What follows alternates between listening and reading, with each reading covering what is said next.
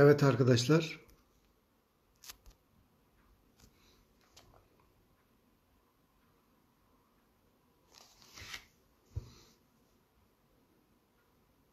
Kaldığımız yerden devam edeceğiz. Umarım ilginizi çekiyordur. Benim çok ilgimi çekiyor. Tabii futbola alakanız yoksa biraz sıkıcı da gelebilir bu canlı yayın. Futbolla alakanız varsa da ilginizi çektiğini zannediyorum.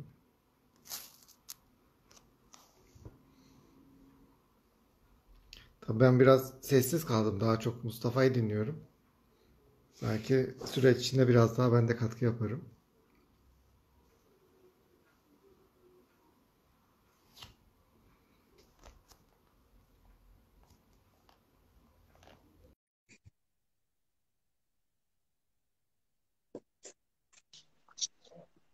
Evet hocam hoş geldin tekrar. Hocam hoş bulduk. Nasıl gidiyor Ca- Can? Ya hocam ben e, biraz kaptırır konuşmaya devam ederim. Siz, o yüzden siz de e, bu aşamada biraz daha fazla bir söz hakkı alıp birlikte devam edebiliriz. Aynen. Ben de şimdi onu söyledim. Dedim Ha, daha çok seni dinledim. Çok katkı yapmadım. evet, Ben biraz da öğrendim senden bazı şeyler. Güzel oldu benim için. Eğitici oldu. evet, Yavaş yavaş ben de katkıda bulunurum inşallah.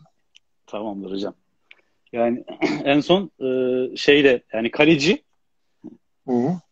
psikolojik olarak kalecileri incelediğimizde sadece bakış açılarından bile e, nasıl bir misyona sahip olduklarını çözmemiz gerekiyor. Şimdi e, bir ötekine, bir ötekini yönlendirecek, bir ötekine destek verecek, bir ötekinin açıklarını görüp bunu kendisine, e, onun hayrına, kendi hayrı için söyleyebilecek yetisi olmayan, içine kapanık, ben ona şimdi böyle söylersem e, acaba yanlış anlar mı? diye düşünebilecek bir kişilik yapılanması ne kadar uzun boylu, ne kadar atletik, ne kadar patlayıcı kuvveti çok iyi olan bir fiziksel olarak yetenekli bir kaleci bile olsa ruhen bu özellikleri olmadığı zaman e, sistemin dışında kalmış oluyor.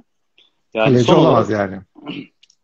çünkü şöyle oluyor hocam. e, çocuk e, yıllarca bir seviyede spor yap, ya, futbol oynadıktan sonra kaleci antrenörleri bize diyor ki ya hocam diyor şuna diyor bir şey söyle de diyor. Artık bağırsın. İşte kalede Hı. birinin olduğunu hissettirsin. Şimdi diyorum ki hocam sen mesela kaç yıldır bu oyuncuyla çalışıyorsun? 10. Şimdi 10 yıldır bu özelliği ortaya çıkmadı. Yani 10 yıldır bağırıyordu da hani şimdi mi Hı hı. acaba hani böyle. Şimdi bu çocukların bir kendilikleri var içlerinde. Yani yıllar oluşma artık bir kişilik karakter oluyor. 20 küsur yaşında bir bireyden bahsediyoruz. E, antrenörler de şöyle bakabiliyor bazen bize. Hani bir tuşa basıp bir şeyi değiştirmek. Yani güneşin hı. doğuşunun şeklini değiştirmemizi istermiş gibi bir durum bu. Hani bu çocuk e, bu çocuğu merak ettirerek biraz onları bir, bir robot gibi bir yazılım programı gibi değil de hani bu çocuk ne yaşamıştı acaba? Kendini ifade etmekte zorlanıyor. Belki seninle ilgili bir şey antrenör olarak. Belki sen yıllardır hı. ona hiç sordun mu? Sen mesela duygun ne? Maç bittikten sonra, kötü bir maç bittikten sonra ne hissediyorsun diye sordun mu? Yok sormadın. Ee, mesela bu çocuğun en sevdiği şey ne? Ee, yönü ne kendi için? En sevdiği renk ne? Nelerden hoşlanır? Var mı bilgi? Yok. Yıllarca işler yolunda gittiği için e, mekanizma merak edilmemiş. Yani o kişilik, o, o yapılanma merak edilmemiş. Hı hı. Seviye arttıkça zorlaşan hayatın içerisinde çıkacak küçük defolarla birlikte onun şeyini görüyoruz. Ha burada bir şey var galiba. Vardı o hep zaten. Belki e, 10 yıldır biriken bir şey. Yani kaleciliğin ruhsal yapısı da bu. Son konuşacağımız şey de hocam. Biz aslında bir insan evladının hayatını bireysel olarak anlattık şimdi kendi Hı yaşamımızı. hı. Bu hayatın içerisinde bir destek aldığımız, fikirlerine güvendiğimiz, bilgi alışverişi yaptığımız, son karar yine kendimizin verdiği ama acaba hani o da ne düşünüyor diye sorup e, ortaya bir fikri atıp birlikte karar verebildiğimiz, fikir alışverişi yapabildiğimiz bireyler var insanın hayatında. Aile gibi. Yani e, baba gibi yani, anne baba gibi. Hı hı. Hı hı. Futbolun anne babaları da yöneticileri yani dışarıdan bir gözle bakıp bize doğru yolu gösterecek olan e, karakterimize işleyen o yapıda söz sahibi olan insanlar da antrenörlere benzetiyorum işte bu anne babaları da. Yani anne baba e, çocuğa daha çok çocukluğundan itibaren bakın çocukluk, ergenlik, yetişkinlik derken hepsinde bu dizilimi kuran kim? Elin oğlu değil. O takımın antrenörü. Yani biz bir yaşamdan bahsederken bizim antrenörümüz de annelerimiz, babalarımız. Yani antrenör diyor işte bu maç böyle oynayacağız. Kaybedildiği Hı-hı. zaman antrenör soyunma odasında ortalığı yıkıyor. Yani bu şey demek aslında. Bu sınavı nasıl kazanamazsın diye anne baba gibi. Yani bu sınav nasıl kötü geçer? İşte üniversite sınavı nasıl kazanamazsın? Ya da derste nasıl başarısız olursun? Başarılı olduğu zaman da işte onu tatillere götüren, işte ona iPhone alan, ödüllendiren sistem yine aynısı kendisi yani burada. Ee, biz bütün bu sistemi sağlıklı işleyebilmesini bence e, düşünürsek nasıl sağlıklı işlenir? Kazanmak ya da kaybetmenin dışında bütün bu sporcuların kendileri olabilmeyi başarabilirsek, onu başartabilirsek, yani oraya insan kendisini ifade etmek için çıkmayı başar, başarabilirse, bence Hı-hı. burada e, yenilginin de bir anlamı olacak hocam. Galibiyetin de bir anlamı olacak. Yani e, kaybettiği zaman çok fazla üzülen sporcular olur. Yani e, bunun içinde şey de vardı. Şimdi antrenörü ne diyecek? Kızacak. İşte yönetici ne diyecek? Bu kaygılar var içlerinde hep. Aslında bu görüştüğümüz zaman, bu konuşmalar yapıldığı zaman bu sporcunun kendi kaygısı değil demek. Kendisine ait olmayan bir duyguyu yaşıyor. Bir ötekinin ona hissettirdiği hmm. duyguyu. Yani burada kendisini yetersiz, değersiz, çaresiz, işini yerinde koymayan hatta yani çocukluk dönemlerindeki o yaramazlık yaptığı zaman işte komşunun camını futbol oynarken kıran çocuğun eve geldiğindeki o mahcubiyet hali gibi. Yani aynı çocuk oluyor o yöneticilerin ve antrenörünün karşısında. O yüzden yani futbol bence e, hayatın ta kendisi gibi geliyor bana. Bu açıdan bakarsak. Evet. Yani mesela bu Roberto Carlos'ta kaldı aklım. Hı hı. Hani dedi ya çizginin dışına çıkamıyor ama ondan önce sahanın içindeydi ve özgürdü. Evet. Belki de onun öyle bir anısı var. Yani çizginin içinde kaldığı. Kapalı kaldı. Evet. Belki Oradan de... çıkamadı. Yani bir regresyon oluyor orada. Çocukluğundaki bir yere gidiyor aslında. Yani o o anda o sahada değil. Kim bilir nerede. Futbol e, iyi olduğu kadar mesela insan ruhunun üzerinde bıraktığı yıllarca süren kalıcı negatif etkilerine bakalım mesela hocam şimdi. Belki böyle bu adam. Hı hı. Futbol sayesinde bir gün e, negatif bir şekilde eleştirilmediği için yani sol bek denilen kavramı dünyada değiştiren bir adam. Kafu vardı onun zamanında bir de sağ bek. 3-5-2 bu adamlar sayesinde oynandı dünyada belki de. Hmm. Yani o devamlılık özellikleri olduğu için çizgide.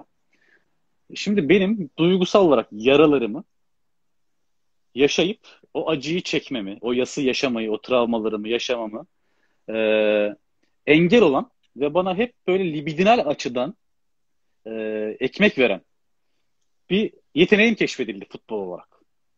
Ve Hı-hı. hep çıktığım andan itibaren hangi müsabakaya çıkarsam çıkayım destek verilen, kabul görülen, hatta tapılan bir adamım. Düşünsenize ben Brezilyalıyım ve bütün ülke ülkenin cumhurbaşkanını daha fazla seviliyorum gibi. Çünkü onları temsil ediyor orada. Sonra futbol bu insanın içerisindeki travmaları bir şekilde donduruyor hocam bence. Derin dondurucu gibi. Yani ortalıkta gözükmüyor ama olmadığı anlamına gelmez. Bilincin dışına doğru bir şeyler ertelendikçe, işlenmemiş yaz diyelim bunlara. Durdukça, durdukça, durdukça futbol bittiğinde e,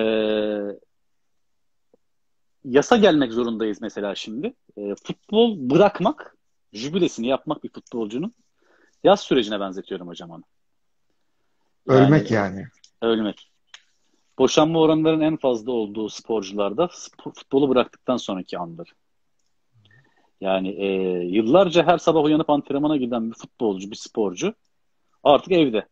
Üç çocuğu var. Zamanında evlendiği çok da güzel bir işte bir, bir eşi de var. Futbolcu kimliği vardı üzerinde. Futbolcu kimliğini biliyorlardı. E, bu sonlu bir şey. Bu bittikten sonra ki kimliği ne olacak? Yanına bir kimlik koyamadığı için Belki de kimliği olmadığı için futbol onun onun kimliği oldu. Onun bile bilmediği zamanlarda 8, 9'da 10'lu yaşlarda. Bu onu 35 yaşına kadar götürdü hocam. İşte 8 yaş öncesindeki yaşanmamış, yani işlenmemiş travmaların 35 yaşından sonraki hali insanı yavaş yavaş e, canını acıtıyor. Eskisi kadar kameraların karşısında olmaması, popüler olmaması, yaptığı işlerin artık konuşulmuyor olması. En azından bir fiziken bir aktivasyonun olmaması. Yani işiydi. Antrenmana gidiyordu. Evde artık. Maddi olarak milyon eurolarım var hocam. Hani son model arabalarım var. Ama bir anda bakıyorum hiçbir işe yaramıyor. Yine de mutsuzum. Yani paranın da satın alamayacağı bir şey olduğunu, yani hayatın aslında bambaşka anlamlarının olduğunu, paradan, puldan, şöhretten ibaret olmadığını o zaman anlıyor. Sanki bir şey ölüyor içinde hocam. İlk bir inkar başlıyor. Diyor ki olur mu öyle şey diyor hani aynı süreçler gibi. Olur mu öyle şey diyor. Ben hala diyor popülerim diyor. Sonra şey başlıyor işte biraz e, kabul gibi ama sonra biraz pazarlık ediyor. E, ben diyor hala işte beni çağıracaklar. E, maçları değerlendireceğim, yorumlayacağım. Son e, jübilemi yaptığım kulüpte bana görev verecekler. O da olmuyor hocam. Sonra bir yerin bir çöküşün içerisine giriyor. O, o işte orada kalması benim için çok önemli. Hani o duyguyu orada yaşaması, onu kabul etmesi e, bir nimet aslında benim için. E, orada çok fazla duramaya, duramadıkları zaman da tekrar kaldıkları yerden geri devam eden sonra madde bağımlılığı, aşırı yemek yemek, duygusal boşluktan dolayı eyleme vurmaları arttığından dolayı da hem fiziksel yaşantısı darmadağın oluyor hem de duygusal hayatı darmadağın oluyor. Bu yüzden bir yaz süreci futbolun içerisinde de var. Aynı şekilde sakatlıkta da var ama. Orada da bir kayıp var. Ki sakatlık bence çok daha ben e, bir buçuk iki yıldır sakatlıklar üzerine yani hmm. spesifik olarak artık bütün yatırımımı yani duygusal yatırımımı oraya doğru yapıyorum çalışmalarımı. Çünkü bir şey keşfettim hocam. Hani e, en çok sakatlık anında ihtiyaçları var gibi bize. Yani e, öbür türlü yine işleyen bir makine var. Davranışlar patolojik bile olsa ki bu arada şey de var hocam takımın içerisinde 288 tane spor psikoloğu yaklaşık 23 tane kişilik belirlemiş. Bir takımın içerisinde olmazsa olmaz Hı. diyen. Bunların içerisinde mesela profesyonel yalancı da var. Sözlü Hı. lider de var. Sözsüz lider de var. Yıldız da var. Yani demek ki biz tek tip bir şeyden bahsetmiyoruz futbolun içerisinde. Her bir şeye ihtiyaç var. Yani e, bu insanlar bir görevleri bir, bir takımın içerisinde bir ihtiyaçları gideriyorlarsa profesyonel yalancı demek şu demek hocam. E, ceza sahasının içerisinde faal yoksa bile varmış gibi penaltı almayı becermek demek. Hı. Yani hakemi aldatma yönelik davranışlar yapan takımın ona da ihtiyacı varmış.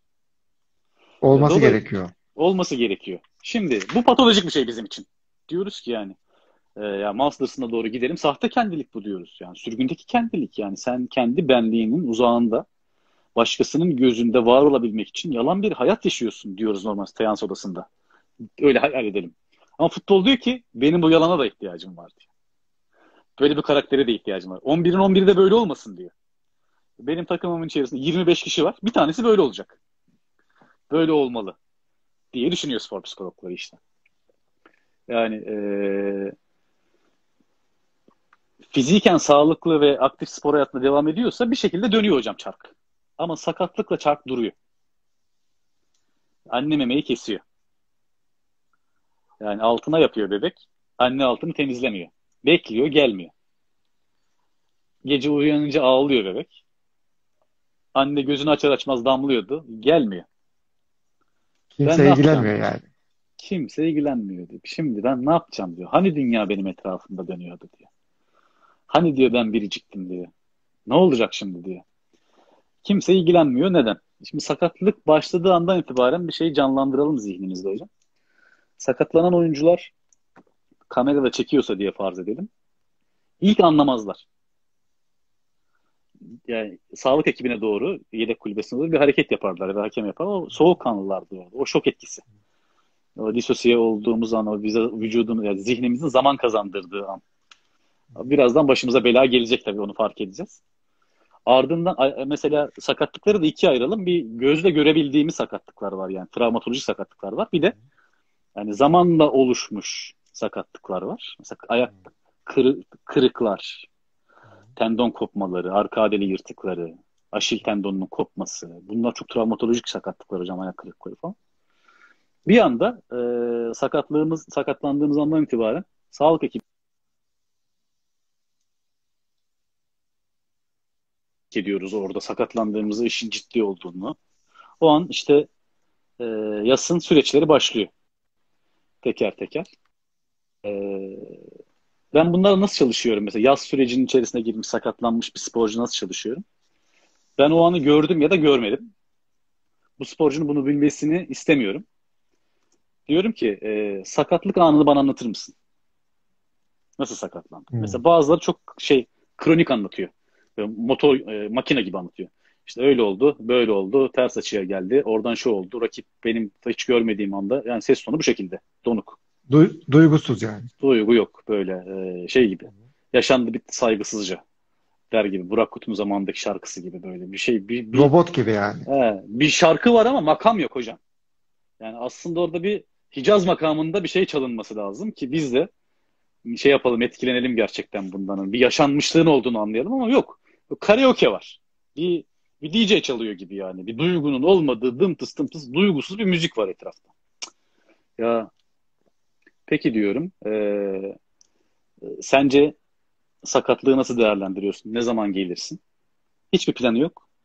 Diyor ki hani belki 6 ay hiç merak etmemiş, hiç araştırmamış bu sakatlık nedir. Yani bu frontali çalıştırıp yaz sürecinden de disosiye olduğu için hala e, yasa girememiş.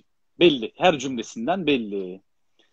Yani hala kral ölmedi. Biz düştük ama vurulmadık e, şeklinde kuyruğu dik tutarak konuşuyor. Duygu yok. Tabii bunu birlikte çalıştıkları spor hekimleri, fizyoterapistler, masörler anlamıyor. Onlar hatta şöyle algılıyor olayı. Hocam diyor gerçekten çok olgun karşıladı olayı. Çok iyi gerçek. Ben olsam dayanamazdım. Halbuki diyorum ki onlara hani içinde bilseniz neler var. Biz bu arada onlarla da entegreli çalıştığımız için e, sonuçta bir 6 ay en azından 3 ay birlikte çalıştıkları sporcular oluyor Hı. bu şekilde. Biz daha ilk basamakta bu şekilde giriyorum devreye. Ee, bazı sporcular da var ama o kadar şey anlatıyor ki bazen duygu tıkanıyor içinde. Yani e, gözleri Hmm. yaşarıyor. Ya hocam diyor hani anlayamadım nasıl olduğunu bilemiyorum diyor. Hani ben nasıl böyle bir şey yaşadığımı anlayamadım yani. Sonra gördüm ki herkes etrafa baktım ağlıyor. Hani bir kırıktan bahsedelim. Yani bir travmatik bir şeyden. Hani sonra kendimi çok kötü hissetmeye başladım. Ne yapacağımı bilemedim. Keşke böyle bir şey yaşamasaydım. Hani nasıl oldu bu?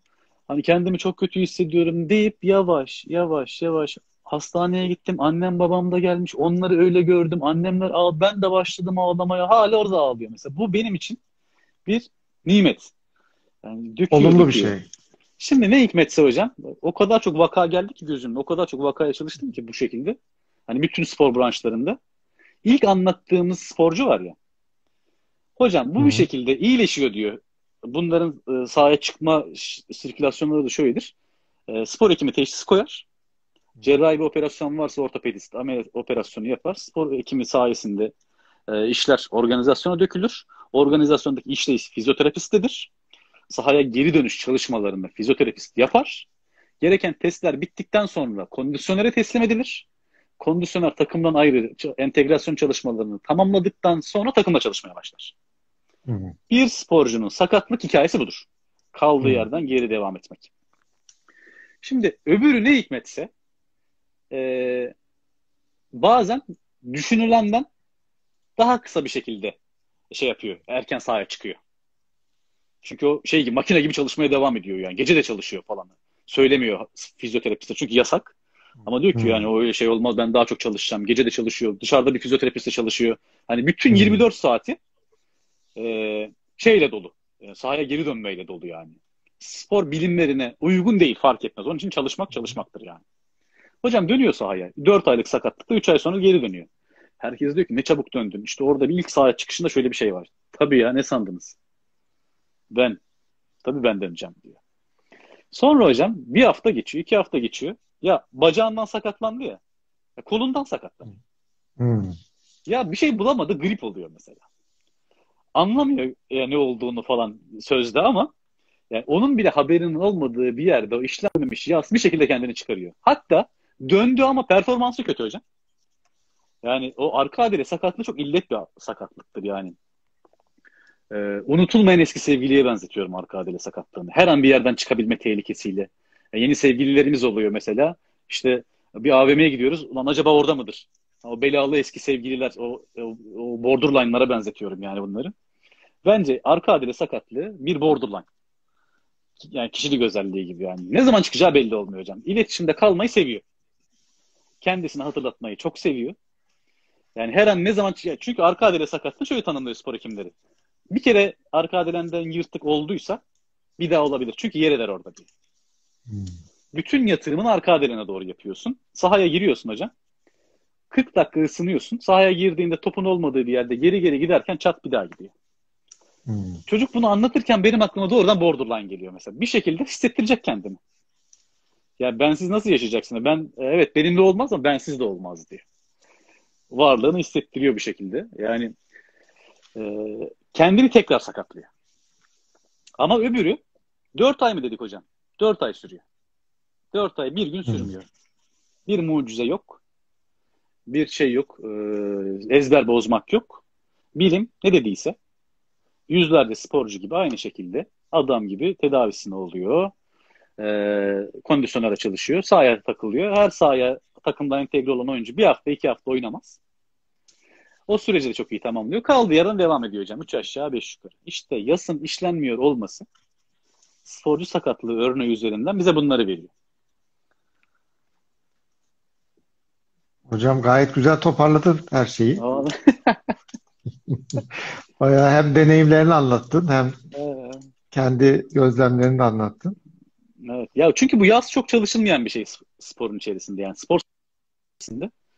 Ee, daha mekanik bakılıyor. Tabii spor psikolojisi olaya biraz daha bilişsel davranış terapi açısından bakıyor gibi hissediyorum ben.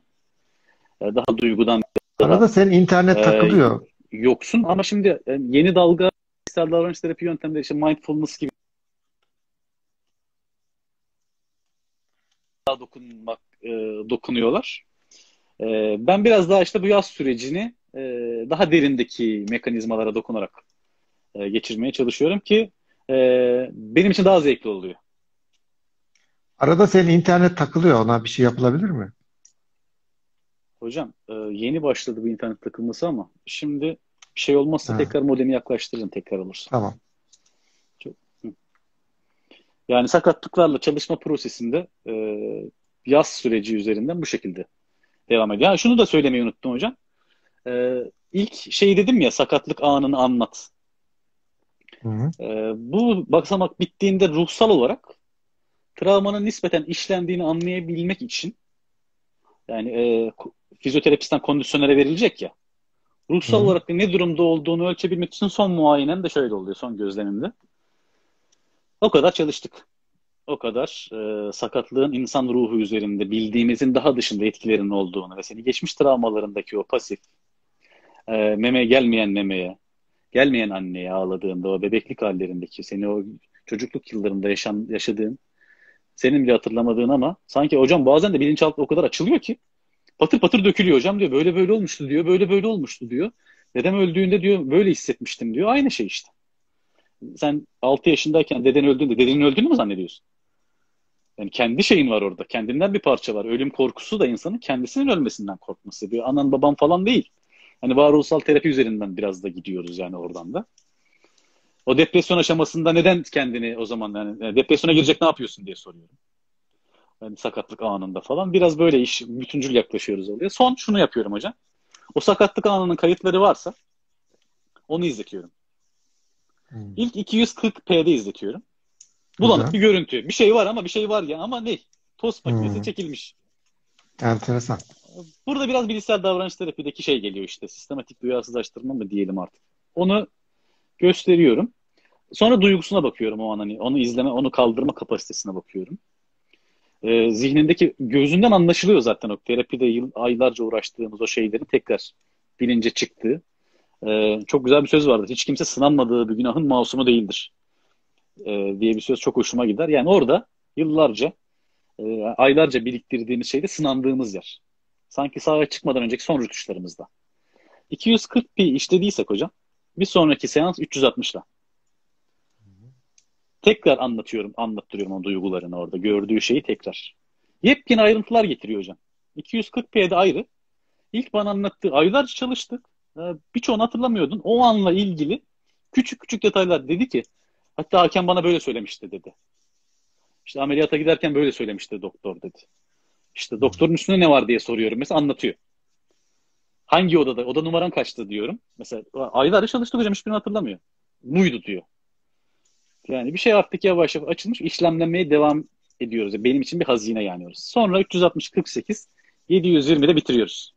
720'yi izleyen bir sporcu sakatlıkta benim için sakatlığı ruhsal olarak nispeten işlemiş. E, elimizdeki şartlarda hazırlayabildiğimiz bir oyuncu demek yani. Sonra şey diyorlar. Vay be diyorlar bir sakatlık dedik ama içinde neler çıktı bizimle ilgili. Şeklinde yaklaşıyorlar yani. Enteresan. Tabii benim de e, küçük bir deneyimim oldu bu futbolla ilgili.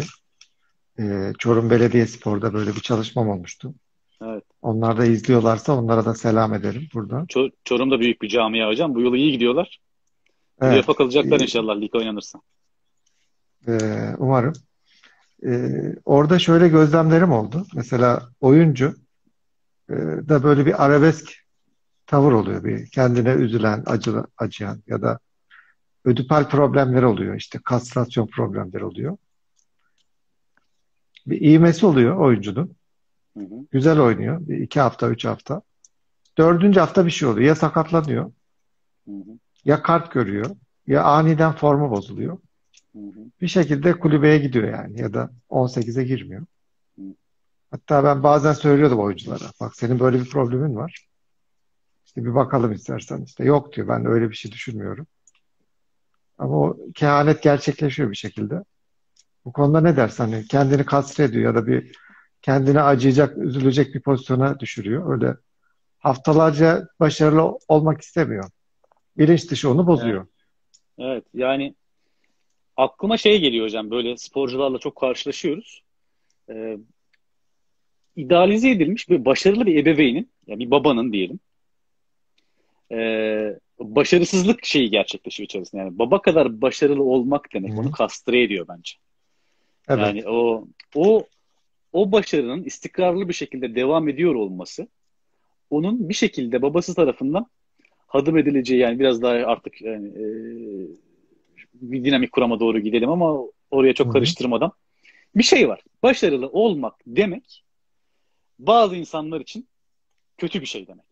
Yani bir şey oluyor. Sanki bir e, hata yapıyorlarmış gibi babalarına karşı bir e, başarı elde etmek onları e, tekrar o çocuk şeye dönüyor işte. O triangüel ilişki dediğimizde üçlü ilişkiye geçtiği dönemde zaten bunları bence elde ediyorlar.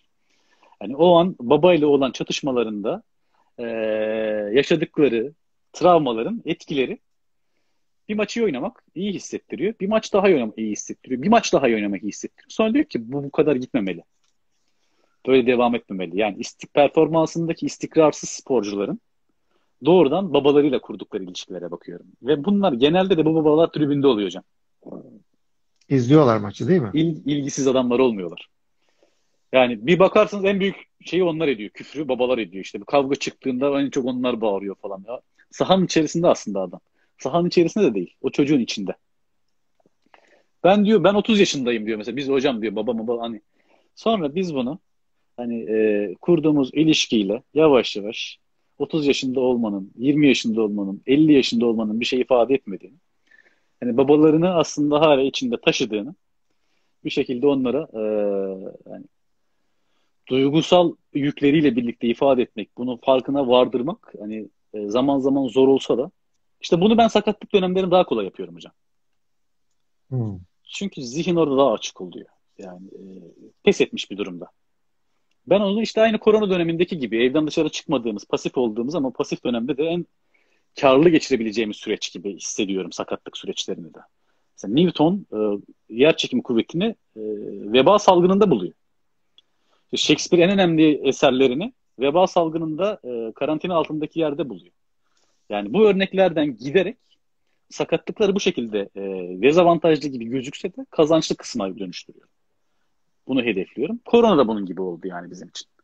Yani bu yüzden sizin bu dediğiniz kendini kastre etme kısmı Hı. bununla bu aha experience oluyor terapilerde hani e, bunu diyebilmeli işte karşımızda çalıştığımız kimse.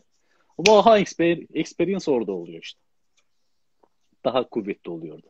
Onun dışında hani uzun bir süreç gerçekleşiyor. Tabii çok büyük dirençleri var e, terapistlere karşı, psikologlara karşı. İçlerindeki gizli dünyayı keşfedecek büyük potansiyel, büyük tehlike olarak da gördükleri için onları. E, tabii kurduğumuz ilişki burada önemli oluyor. E, sizin bu dediğiniz soruyu bu şekilde yani kendilerini kastre ediyorlar şeklinde yorumlayabiliriz. Evet. Yani o terapiye de açıksa hani bu bağlantıları kurarsan da o performansı devam ediyor. Yani küçükken Perform- babayla ya da abiyle çatışmaları, o anılarını konuşursan ve saha içindeki bağlantılarını kurarsan Hı hı. o oyunu düzeliyor bir süre sonra. Tabii. Yani e, bu da çok hassas bir şey hocam. Mesela ya bizim e, bizim meslek o kadar böyle e, bence hoş ama e, seans alan, danışan alan terapistlerden farklıyız. Çünkü ben bir terapistim. E, Mecidiyeköy'de terapi merkezim var. Şimdi biri beni, ben yalvarmıyorum ki kimseye. Ne olur gelin bana terapi, bana terapi verin işte. Üç terapi alana beş tanesi bedava demiyoruz. Bizim mesleğimiz biraz kuyumcu gibi. Yani de eskici gibi değil.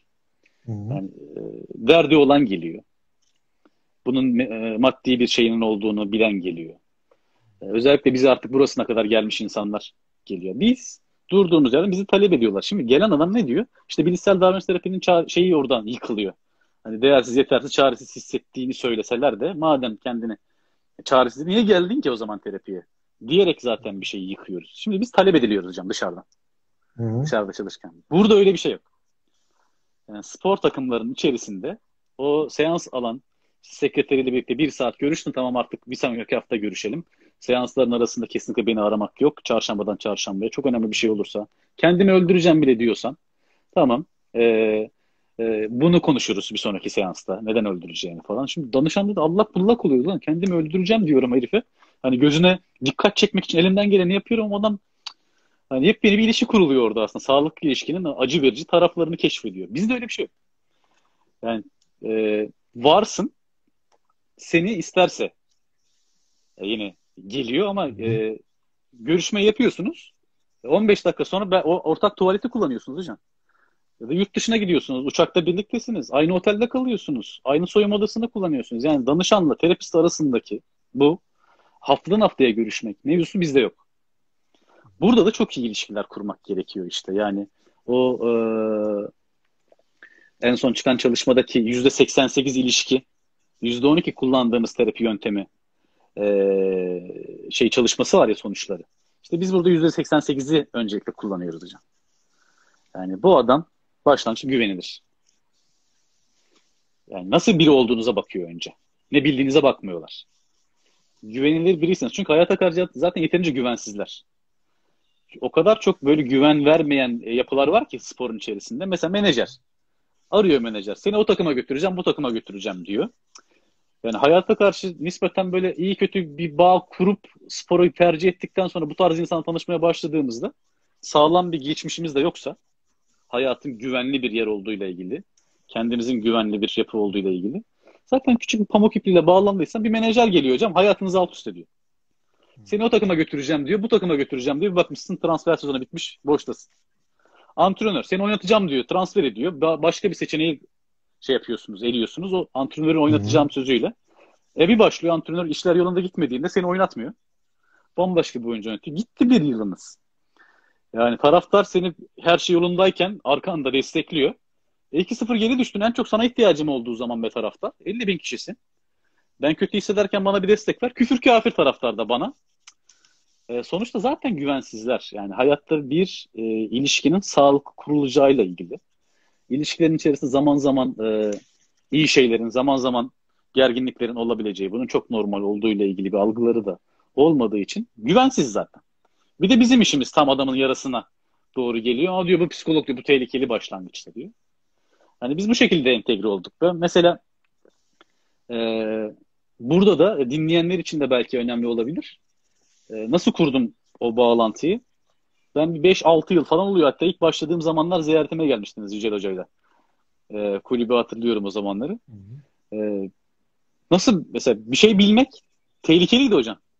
Bilen biri olmak. Yani görülmeyeni gören biri olarak görüyorlar. Sizi de ilahlaştırıyorlar tabii. Aslında bir şey yok. Ben de insanım yani. Orada girdik ettik.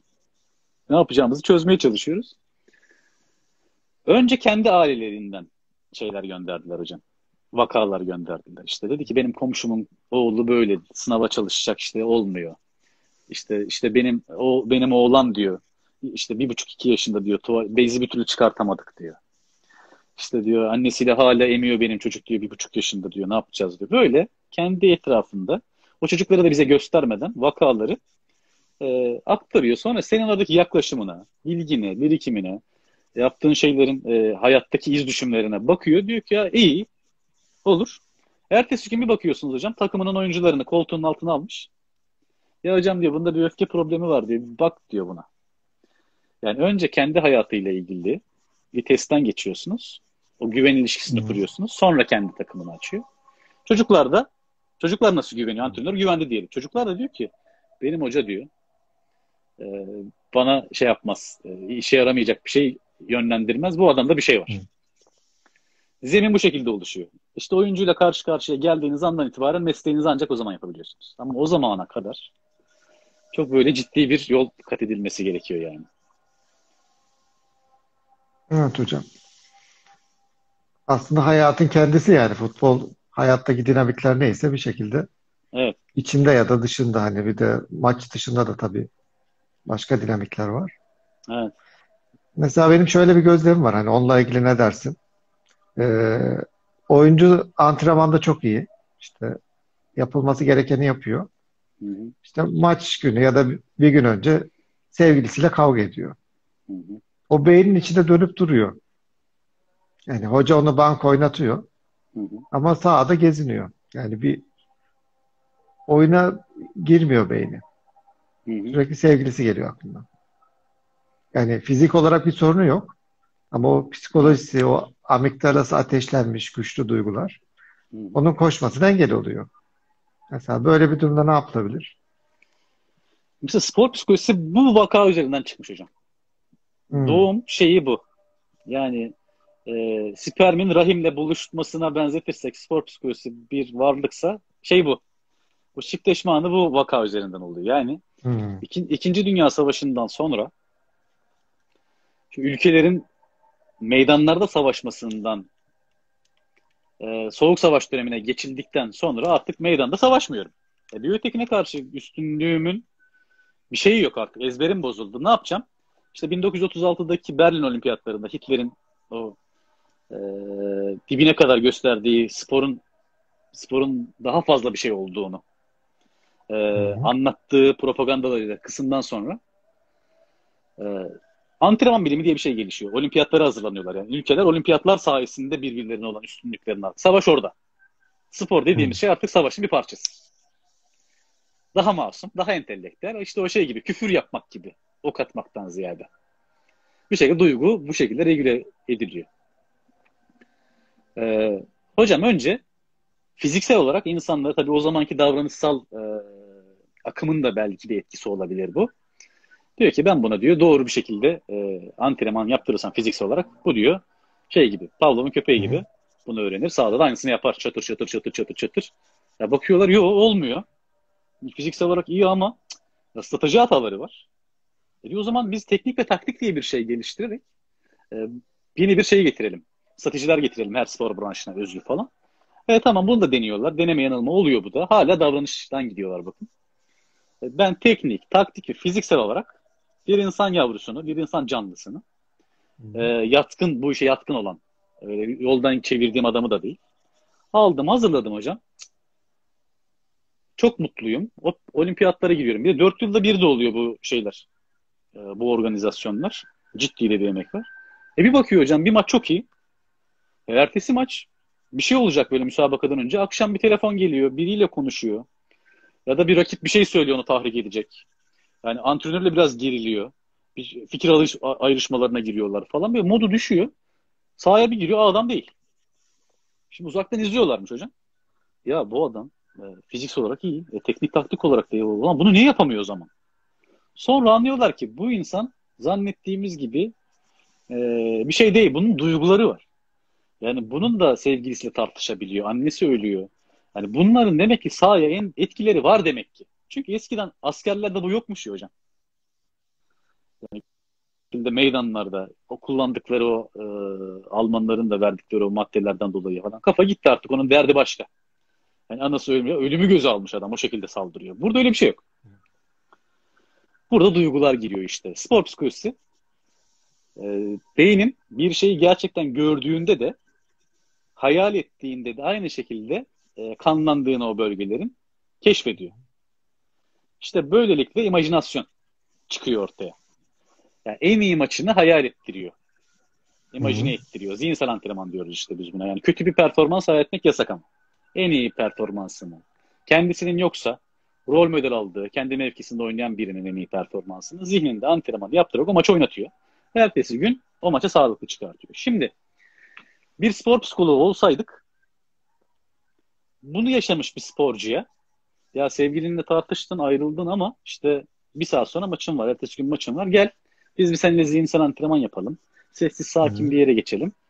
Diyerek beş duyu organını mümkün olduğunca aynı şekilde hareketlendirebilecek bir çalışmayla nefes egzersizlerimizden tutun hepsini yaptırıyoruz falan. İyi hissediyor. E hocam yatağa gidiyor. Gece bir de arıyor beni tekrar. Ya hocam diyor ben yine kendimi kötü hissettim diyor. İşte spor psikolojisinin o, o derine inmediği, o Hı hı. semptomlar üzerinden çalışıp bataklıktaki problemin ne olduğuna ulaşamadığı yerler buralar işte hocam. Şimdi orada e, biz ne yapacağız hocam şimdi?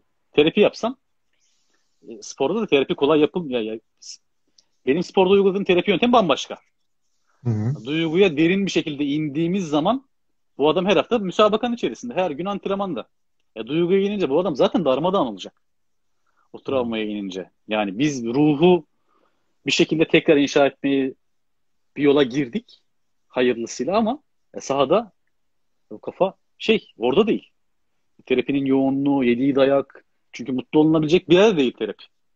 Yani danışan Hı. böyle zaten lam çıkıyorsa terapiste bir şey var. İstediğimizin duyulacağı yer de değil yani. Dayak yemişiz. Çıkmışız bir de antrenmana gireceğiz. Her gün bir de bu. Hani ayda bir falan olsa neyse hocam antrenman. Yani dönen bir sistem de var burada. Bu yüzden biz duyguya inmektense yani insanın ruhsal doğumundan savunma mekanizmalarına kadar götürüyorum. Farkındalığı oluşturup ruhsal doğum sürecimizde yaşadıklarımızın hangi şekillerde savunma mekanizmaları yoluyla ortaya çıktığını yüzleştirmesine, farkındalığını oluşturabiliyorsak bana ne mutlu. Sakatlığın dışında tabii. Sakatlık bu yüzden nimet benim için. Antrenman yok bir şey yok. Orası tam işte terapilik yer. Öbür yerlerde biraz daha e, farkındalıkla çalışıyoruz. E, işte terapi yapan biriysen sporun içerisinde böyle bir vaka geldiği zaman da e,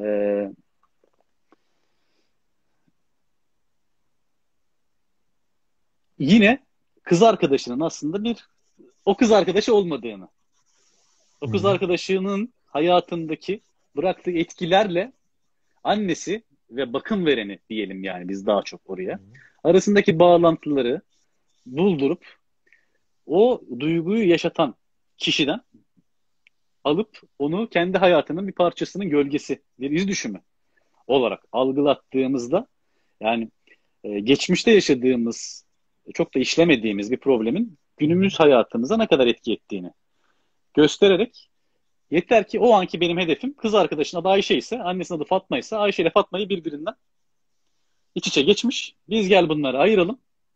Bu biraz annemle ilgili. E, annesini suçlamadan da annen de bunu yapmasının sebebi nedir? E, yazık o da başka kendi annesinden gördüğü bu.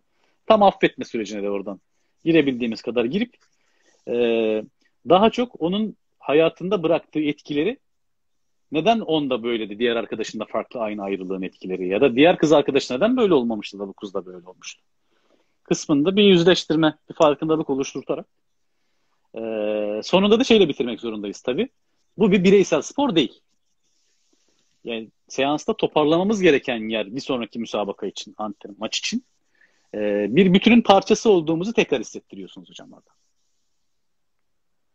Bu çarkın içerisinde 11 kişinin içerisinde bir kişi yani senin e, göstereceğin bu nedenden dolayı göstereceğin performansın yarınki e, bir işlevsizliği sonunda bizi nerelere doğru götürecek kısmını bir yüzleştirmesini yapıp e, etki ediyor. Bunun en çok e, ne, ya fayda alabildiğimiz yer takımda bir bütün olabilmişse, bir duygusal bağı varsa gerçekten Hı-hı. daha çabuk topluyor.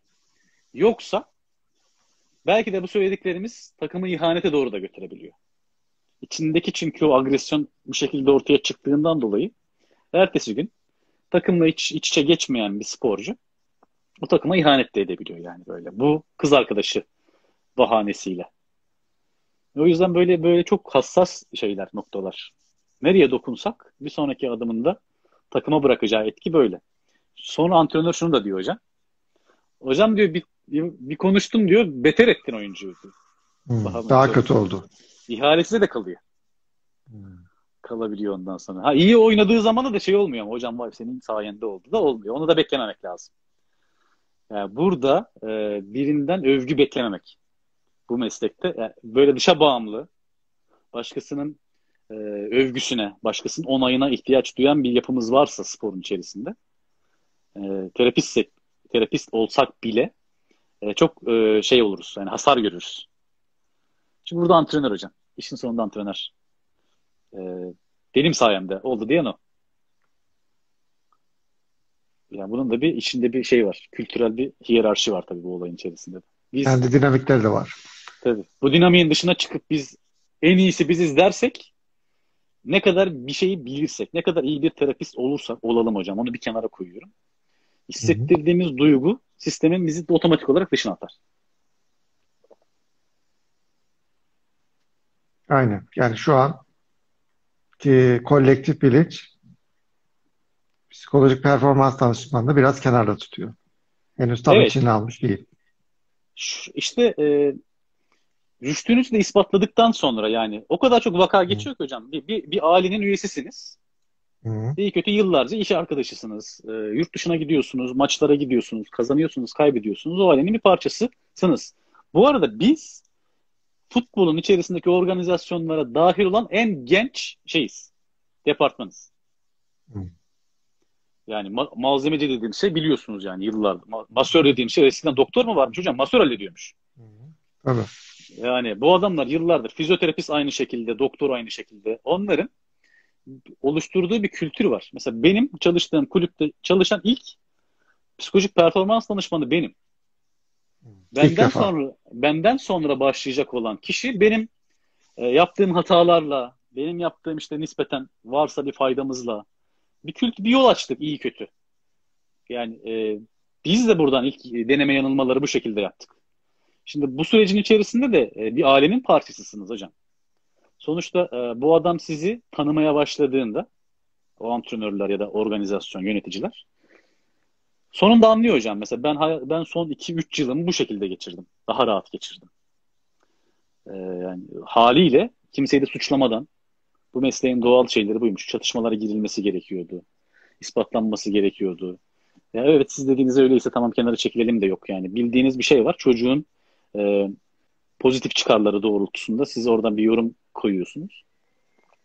Dolayısıyla artık yeni yeni oturup yani evet hocam siz ne düşünüyorsunuz bu konuda?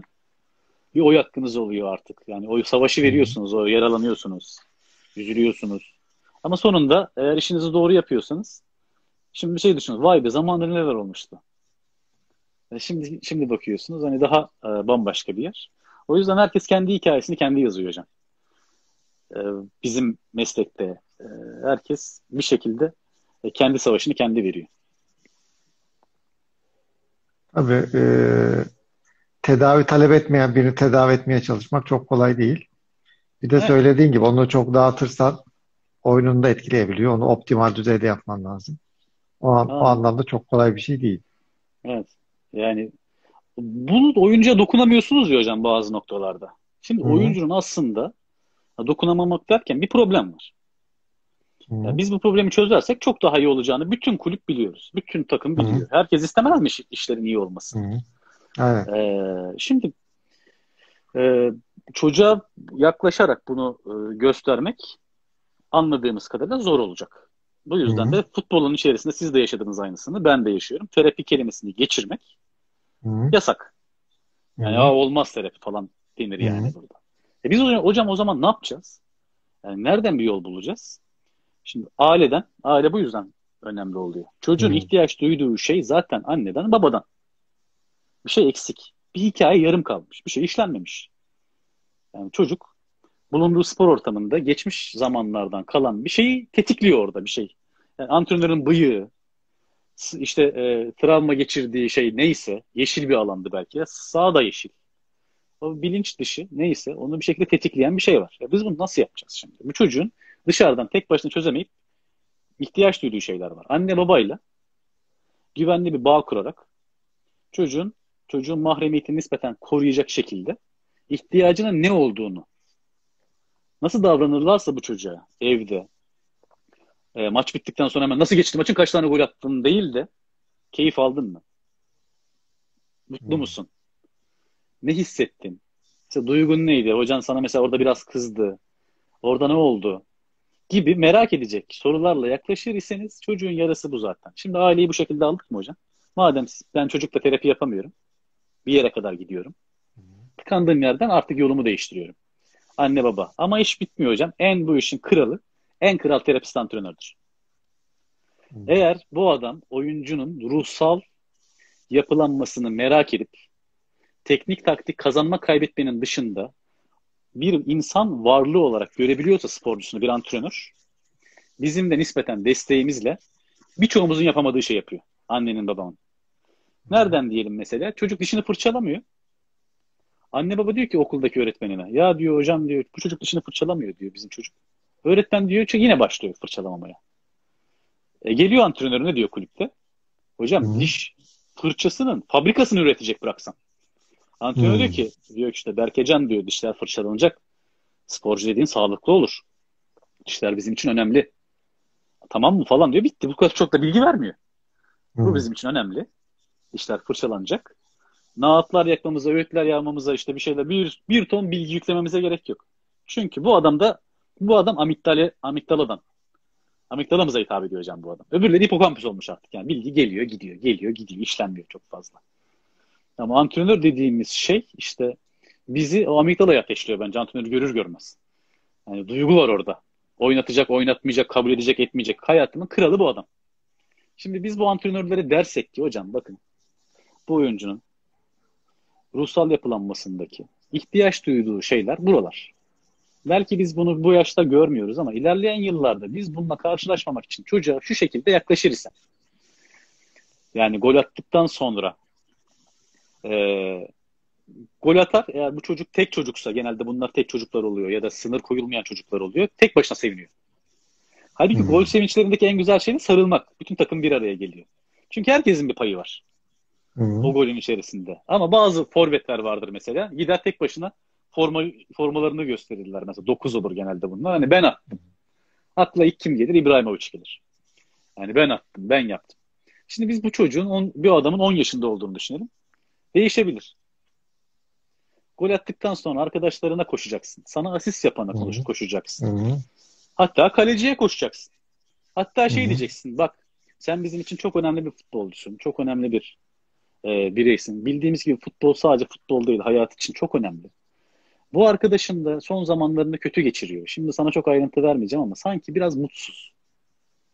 Onun için güzel bir şey yapalım bence. Gol attıktan sonra ona koşar mısın? Hı. Mesela çocuk hiç beklemeden bir anda "Aa, ne oluyor falan diye üstüne bir geliyorlar falan böyle bir.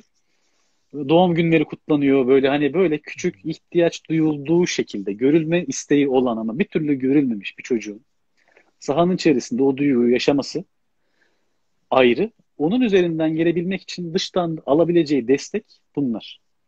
Doğum günlerini kutlatırım. Böyle biraz gariban, biraz böyle kendi içinde kalmış bir çocuk varsa. Belki diyorum bu çocuğun hiç doğum günü kutlanmamış. Belki de. Hı. Annesine soruyorum yok hocam yani bizde çok olmadı yani. Herkesin ekonomik durumu ve kültürel anlayışı bu şekilde değil. Ama bu çocuk diyor ki takım arkadaşlarım kutluyor ama onunkini. Yani ben kendilik aktivasyonunuzu gerçekleştirdiğiniz bir bütün olduğunuz bir ortamın içerisinde doğum gününüz kutlanıyor. Yani bu büyük bir şey Enteresan. aslında. Büyük Tabii. bir e, büyük bir mutlu, onarıcı bir yapı yani bu aslında. Çok fazla. Hatta şeye götürüyorum hocam ya. Futbolculuk yaşamımız, futbolculuk yaşamımızı hayatımıza benzetiyorum. Yani her inançta ne var? Bu dünya hayatı bir yerde bitecek. Sonra Hı hı. bambaşka bir hayat başlayacak diyorum. İşte futbolculuk hayatını aktif futbol spor hayatlarına benzetiyorum. Bir gün bu bitecek. Sonra bambaşka bir sayfa açılacak. İşte orada ne yapacaksınız? Orada nasıl kabul göreceğiniz aktif spor hayatınızdaki kişiliğinize bağlı. Ne kadar gol attığınıza bağlı değil. Rakibe Hı. ne kadar saygı duyduğunuza, ne kadar takım oyuncusu olduğunuza, zor zamanları ne kadar inisiyatif aldığınıza bağlı. Nasıl hatırlandığınıza bağlı yani. O yüzden geleceğinizde yani dünyada da böyle değil mi? Din, dinlere göre de dünyada nasıl yaşarsan ahirette bu şekilde. Yani futbolu bıraktıktan sonraki ahiret hayatımızın nasıl olacağını, nasıl bir hayatımızı beklediğini kaderini biz şu an çizebiliriz deyip sıklıkla e, şeylere götürürüm e, çocukları. Hatta seçerim bununla ilgili ihtiyacı olan çocukları. E, bizde e, Turgay Şeren var, Metin Oktay var, Ali Samiyen var. Bu insanların kulüpçe anma törenleri olur kab- kabirlerinde. Çocukları oraya götürürüm. Ha, millet der ki ya Hocam vaktimiz çocuğu- yine Ha. vaktimiz yine doluyor. Ne yapsak? Biraz daha devam edelim. Hocam biraz daha devam edelim. Şu örneği verecek kadar vaktimiz var galiba. Bunu da vereyim sonra Tamam. kapatalım. Olur. Diyor ki 15 yaşında çocuğu niye götürüyorsun mezarlığa? Ya Hı. yani bunu söyleyen insanın da aslında şeyi çıkıyor ortaya. Yani bakış açısı çıkıyor ortaya. Şimdi oradaki çocuğu aslında oraya götürmemin sebebi bakın nasıl hatırlanmak istiyorsunuz? Hı. Kabriniz başında öldünüz yıllar geçti. 20 yıl geçti, 30 yıl geçti. Ama bir kulüp, yani bir insan, bu sizin çocuğunuz da olabilir. Yani buraya gelip sizi hatırlayacak, iyi hatırlanmak mı istiyorsanız? Bu işte e, ömür boyu karşımıza çıkabilecek en çok gerçek olan şey, tek bildiğimiz şey ölüm. Doğduğumuz andan. O da burası. Evet. Tabii onlar işler çok yolunda gittiği için kendileri ne sakatlanacak, ne kadro dışı kalacak, ne ölecek hiçbir şey düşünmedikleri için biraz hayata dokundurduğum yerler oluyor bu. Anma törenlerine götürüşüm. Güzel hocam. Deneyimler fazla. Şimdi yine bir 2-3 dakika ara verelim istersen. Ne dersin? Tamam hocam. Tamam Yor- olur. yoruldun mu? Ne durumdasın? Hocam beni bıraksanız ben saatlerce konuşurum ama biraz E, yani tamam. bir sonraki basamak sizde de karşılıklı konuşuruz. Tamam. Öyle yapalım. Tamam hocam. O zaman ne kadar? 3 dakika verelim bu sefer. 3 dakika verelim. 59 geçiyor Tamam. benim saatime göre. 2 Tamam. geçe buradayız hocam. 2 geçe buradayız. Tamam hocam. Tamam. Görüşmek üzere. Görüşmek üzere.